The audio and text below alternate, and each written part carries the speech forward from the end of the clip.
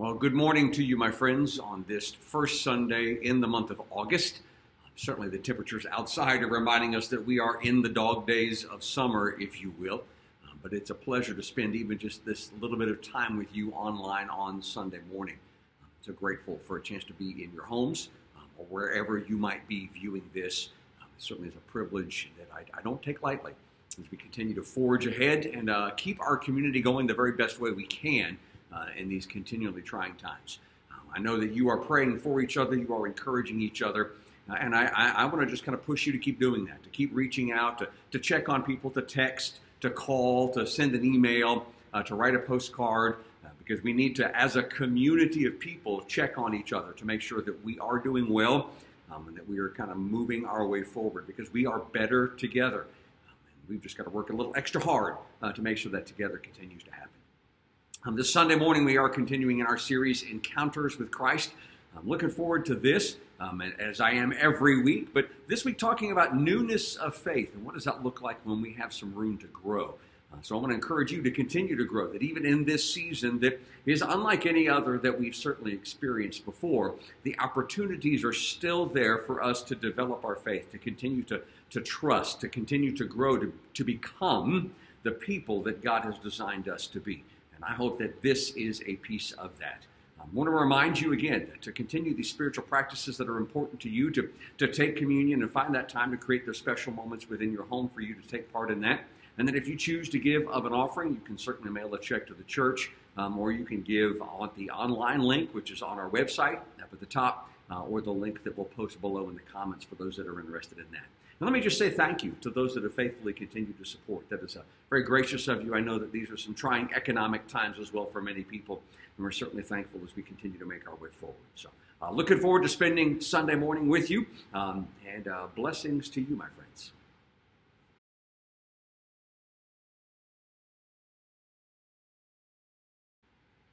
When I was growing up as a young man in Florida, we didn't always have a lot as a family. And we had a, my mom was hardworking, was doing everything she could, um, but we just didn't always have a lot of things.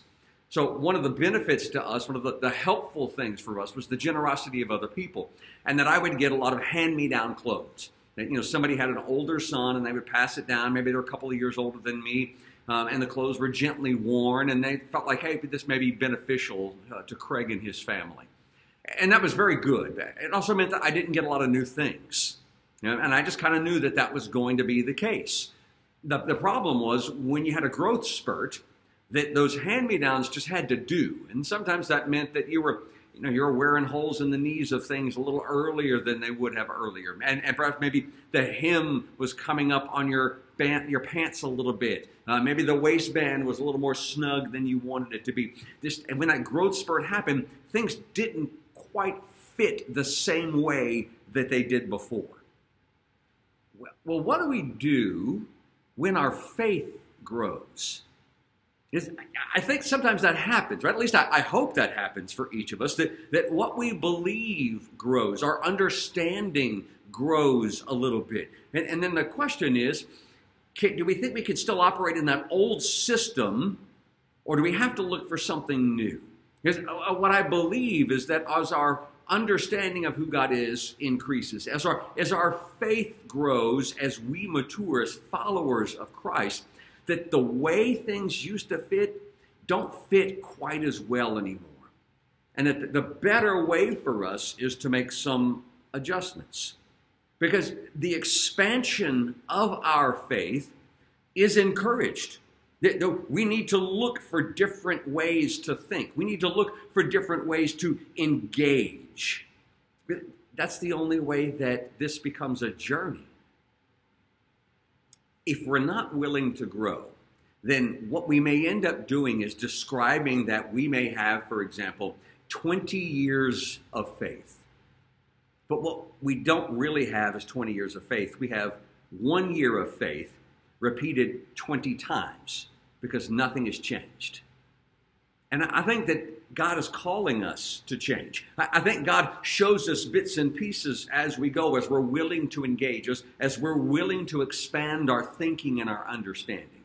And as we'll see today in the passage that we're going to look at, encountering Christ gives us the freedom to grow in faith. That encountering Christ gives us the freedom to grow in faith.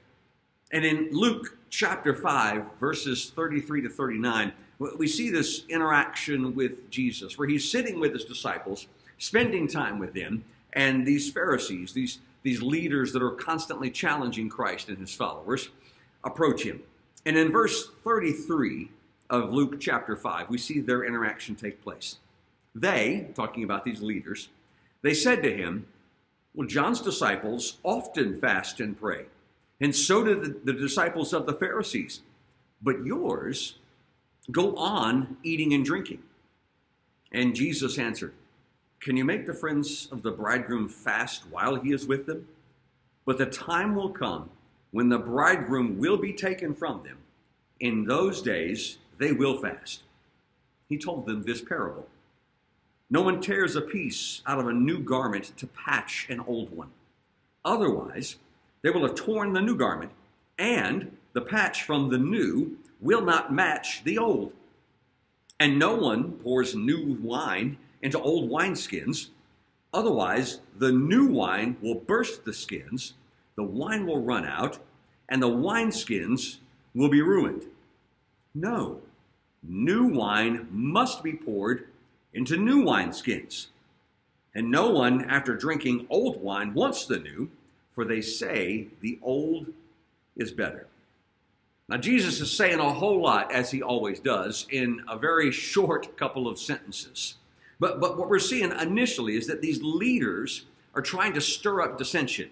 They're trying to come in and point some things out. They're nudging in, trying to create some unrest.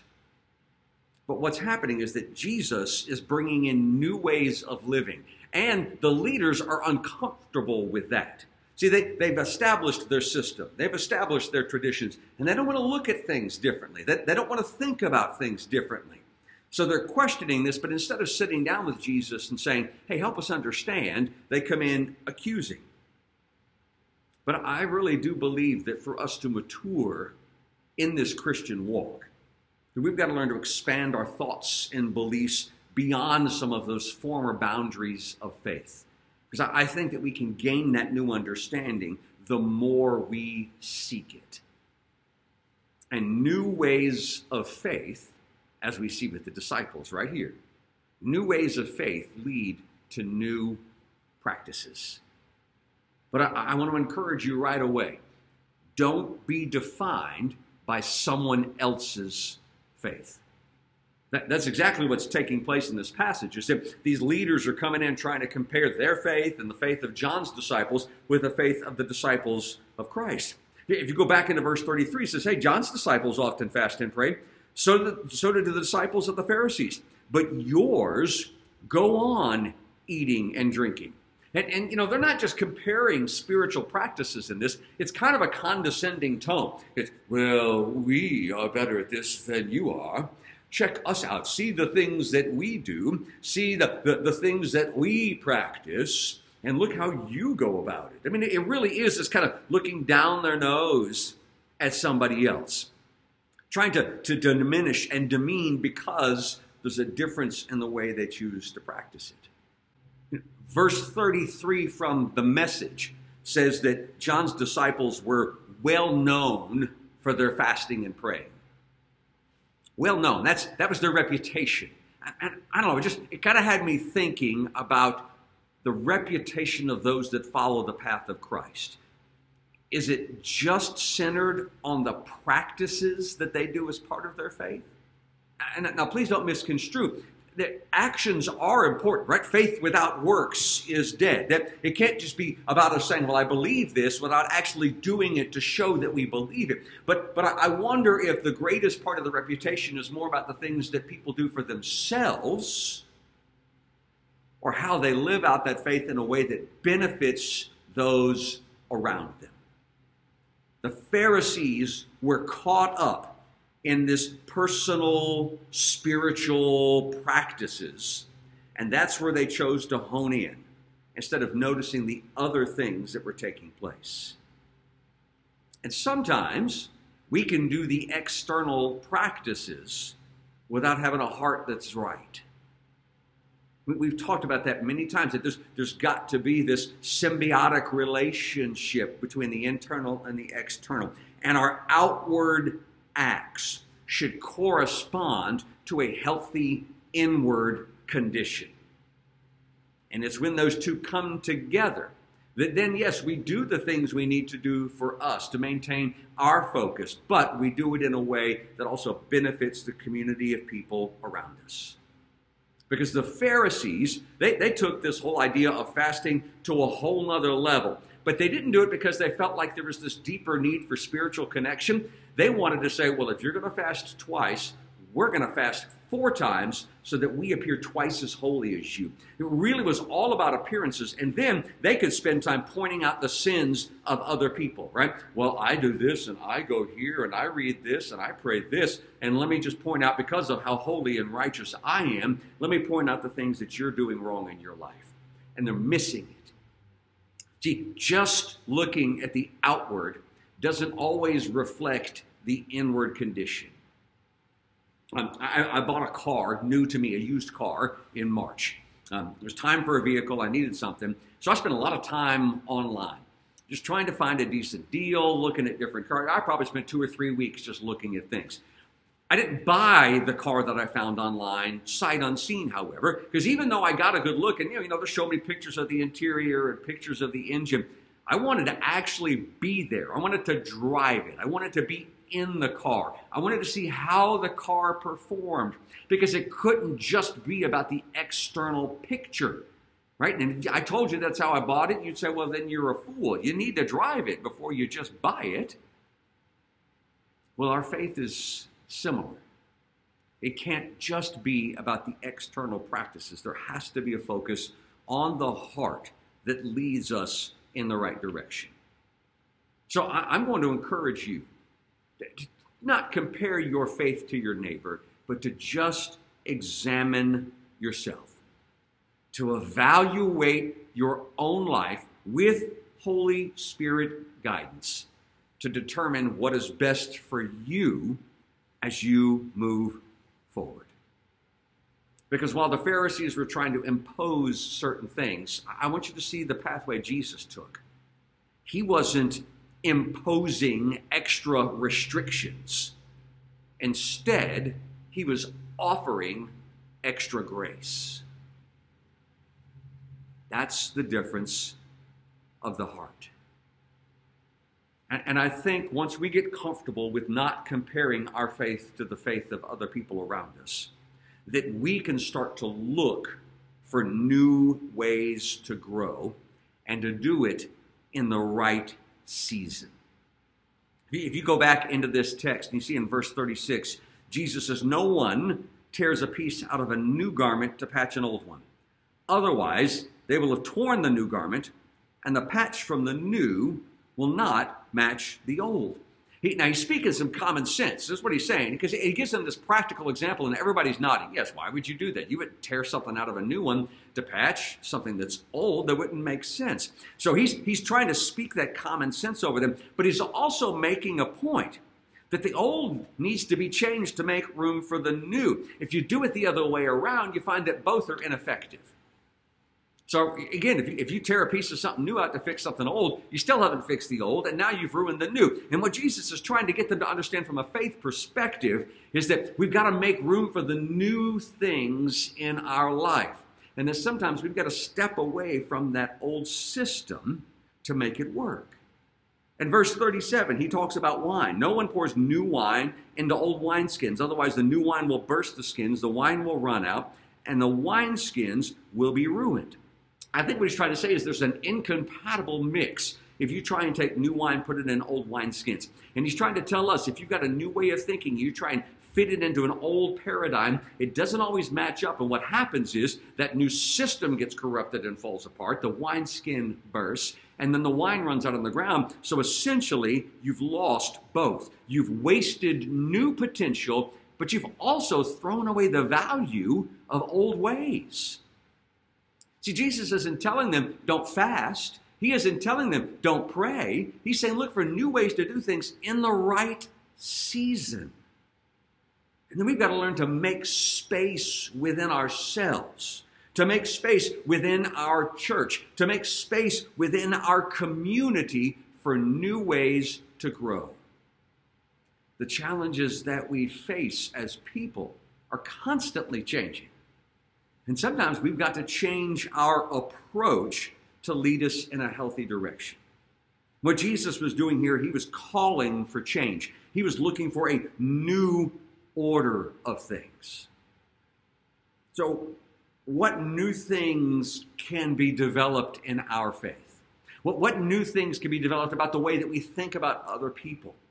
What new things can be developed in the way that we even perceive ourselves and recognize some things in ourselves that we've held to be true for a really long period of time, but now they need to change. They need to be transformed, which is an ongoing process of how God does things. Right? You, you can't just reach that point, step into the door and think, well, I'm done, I'm good, I'm covered. That's kind of like going to the gym and stepping inside the door of the gym, or maybe doing one workout out the gym and thinking, all right, I'm good from now on. Well, we would be foolish to think that way about our physical health. Why are we okay with that from a spiritual perspective? See, God wants us to change and grow. He's encouraging us to push beyond. But I'm not telling you to abandon everything. I, obviously, we, don't have cable at our house, but when we go on vacation, we'll end up getting caught up sometimes at night sitting around with our girls watching HGTV. Um, I'm a sucker for like a rebuilding show, you know, like Property Brothers or uh, flip it or, or flip it or sell it. I can't remember what they're all called. Uh, but anyway, but I love when the people go in and they start to change these houses. And one of the phrases that they'll say very often when somebody buys something to, to improve the interior is they'll say, the house has good bones. And, and what they're saying is, listen, there are some things that need to be fixed. You might need to fix this floor. We certainly need to change some light fixtures. And uh, the, the thing you hear all the time when you watch these shows, we'd love an open concept for entertaining. But when they talk about the good bones, they're saying, listen, the foundation is solid. That there are pieces of this house that don't need to be changed. And while we can make some alterations in traffic patterns and where windows are, you keep the bones of the house because they're good. Yeah, I think that's supposed to define our faith. That we hang on to the core, essential things that are so key to what we believe and how we believe it. But there are different ways to go about living out that faith. There are different ways to structure the songs we sing and the, and the, interactions we have with people and our perspective on our community, the way that we view other people. I think all of those things can be adjusted. You keep your core beliefs. You understand who God is, our relationship to Jesus Christ, the power of the Holy Spirit within us, the pathway of salvation that that's provided for us. But sometimes we get caught up in the little things and think those can't be changed. When really God says, hang on to the things that matter most. And as you grow, be willing to seek understanding, new understanding. Because in all of this, Jesus is emphasizing the way of grace. And then I'm going to encourage you, as I think Jesus is encouraging us, to savor the experience of developing our faith. In verse 39, Jesus says, And no one after drinking old wine wants the new, for they say the old is better. And you're thinking, but didn't he just talk about we need new things and new wine, but nobody wants to drink the old?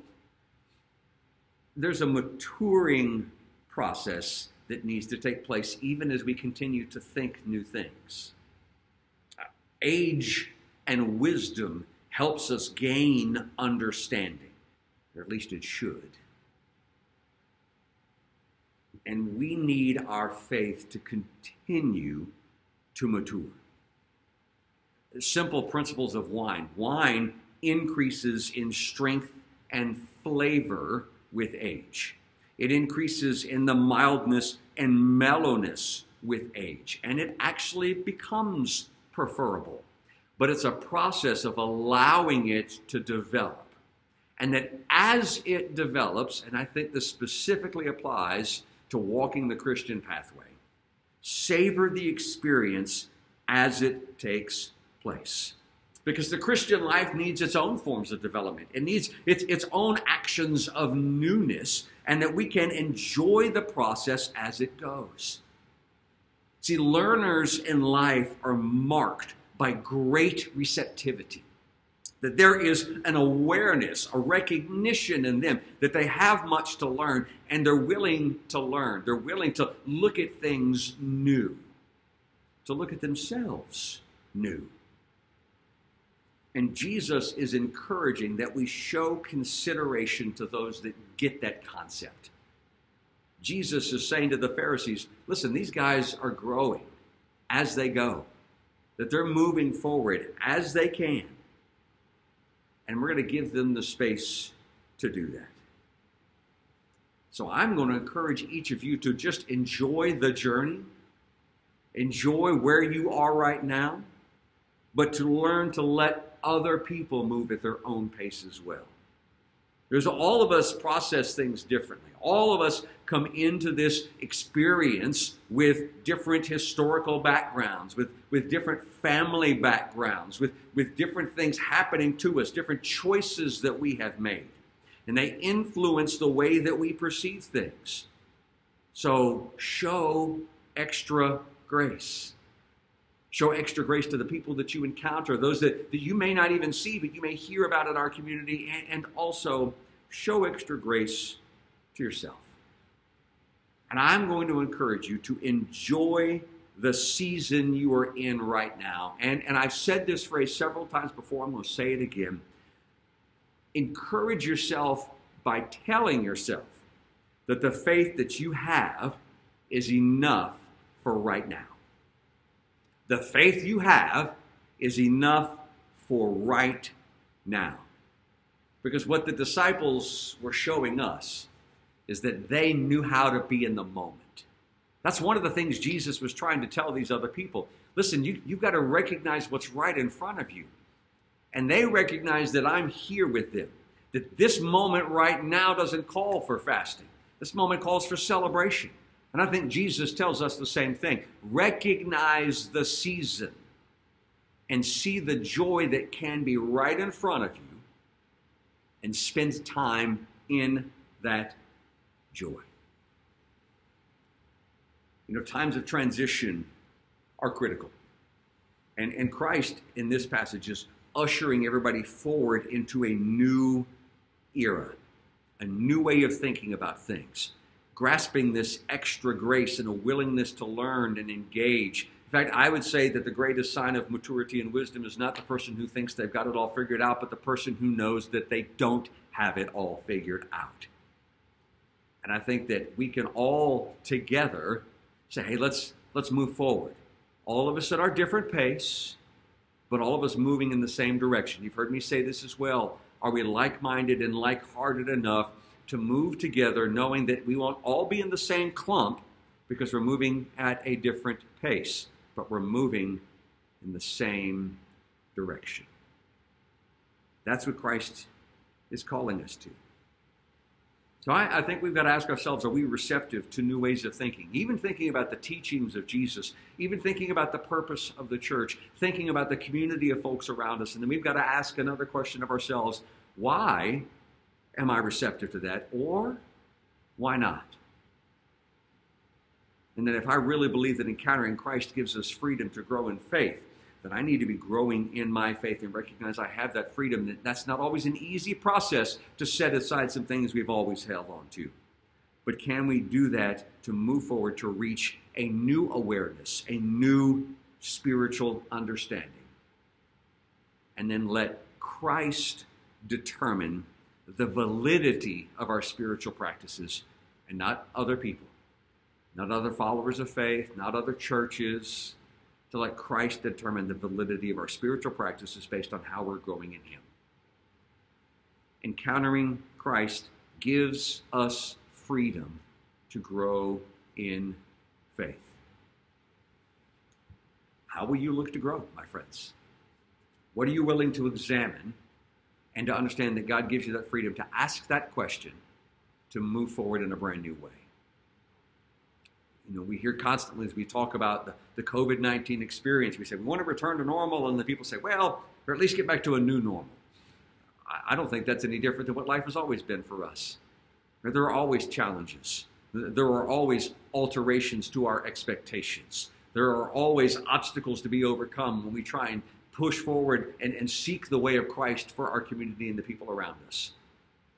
But instead of sitting back and demanding that other people change and grow, how are we as individuals going to choose to grow? Because when we are willing to do that, then that will move beyond just us and start to influence the sphere of people in our community.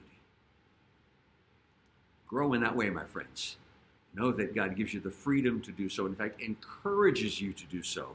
And I believe it is a true indicator of a follower of the pathway of Christ. I miss you all. I do. I miss seeing your faces um, when we have an opportunity to teach and share in these things to continue to grow. We'll do the best we can as we keep moving forward in this way. Uh, let me pray for each of you as we close. Uh, Divine Creator, I, I am just deeply in touch with the hearts of the people that I know are watching this. And, and I, I ask that you would fulfill their needs, that you would meet their needs spiritually, emotionally, mentally, and physically. And God, as we struggle with not being engaged in the strength of face to face community that we're so used to, may we instead find our fulfillment in you. And would you open up our eyes to new ways of thinking, new ways of practicing our faith, new ways of engaging with each other, to know that we have the freedom to change those things, even though that change might seem uncomfortable at first. Would you give us the courage and comfort that we need to continue to push forward on our pathway of following you? We ask for your blessings on all of us, and we know that you hear us better than we are speaking. And we pray this in all the holy names of God. Amen. Peace and grace to you, my friends. Be excellent to each other. Be excellent to yourself.